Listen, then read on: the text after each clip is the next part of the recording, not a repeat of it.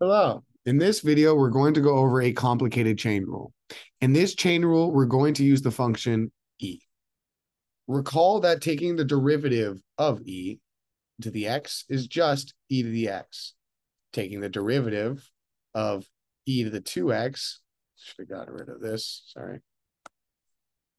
Taking the derivative of e to the 2x is e to the 2x multiplied by the derivative of the exponent 2x, which is 2, which is simplified to 2e to the 2x.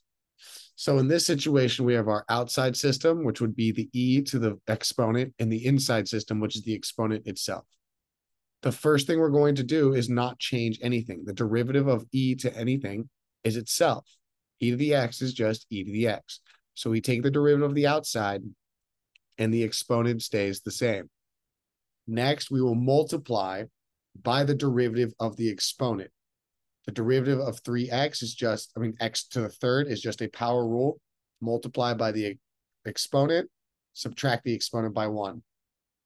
Same thing with 3x squared, multiply by the exponent to the coefficient, subtract the exponent by 1. Now, this is what you are left with, and this is your final answer after taking the derivative. The derivative of the outside system is here. The derivative of the inside system is here. That is it. If you have any more questions, please let me know.